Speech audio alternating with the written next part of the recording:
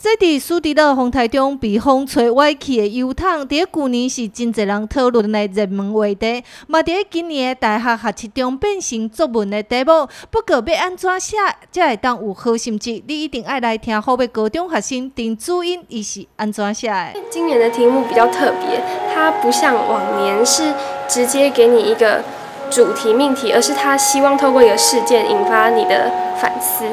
那针对这个事件的反思，当然有正面跟负面。一开始我也是希望可以从正面的角度切入，不过我又审题了一下之后，我认为。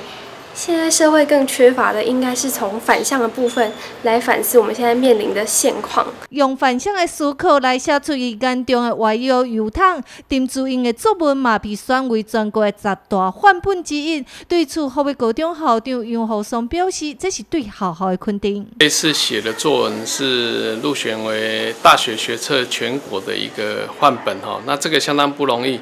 因为考生十三万多要被入选为范本，这是相当不容易哈。那比较特别的是，子英这个孩子他是数理自优班的孩子，那同时他已经考上了高雄医学大学医学系，所以他将来是一个医生哈。那这个展现出我们云岭的孩子他的多元能力，哦，他文科也强，那理科也强。那当然最重要的是孩子自己要努力了哈，还有老师的指导。那我也要告诉大家说，引领引领的孩子真的是很棒。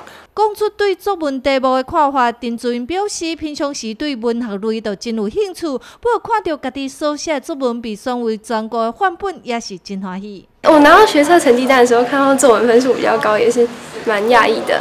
那因为我本来很担心自己写的太过批判，会没有办法获得老师的青睐。那后来发现，哎，像就是还不错的时候。